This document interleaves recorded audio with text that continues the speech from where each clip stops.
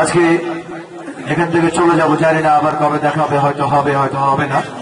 কারণ এই ছোট্ট এই পৃথিবীর মধ্যে আসলে মানুষের নিঃশ্বাসের বিশ্বাস নেই।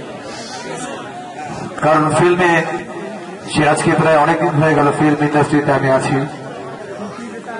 এই আজকে একদিন করতে করতে একটি, দুটি করতে করতে একটি, মাস করতে করতে একটি, বছর করতে করে একটি, যুগ পার করতে করতে আজকে প্রায় উনিশটি বছর পেরিয়ে গেল এই ইন্ডাস্ট্রি থেকে আমার জীবন থেকে।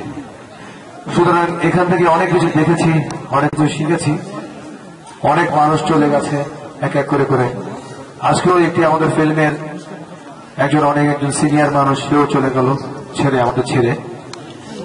অমল ঘোষ অমল দা বলতাম আমরা সবাই ওনাকে। দাদা করে ডাকতাম। হয়তো আপনারা চিনবেন হয়তো বা নানা নাতি নাম শুনেছেন। আজকে উনি আমাদের মাঝে আছেন।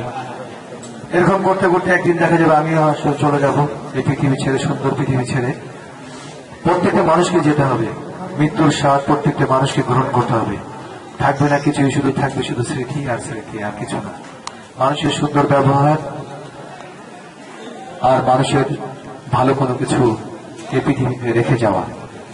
তারপরও মানুষকে বাঁচতে হয়, চলতে হয়, হাস, হাসতে হয়, আনন্দ করতে হয়, ফুর্তি করতে হয়, সবকিছু। তবে এমন কিছু করব না যাতে যে জিনিস মানুষের কাছে সারা জীবন খারাপ লাগে। কারণ আমি সারা জীবন ধরে একটি জিনিস শিখেছি।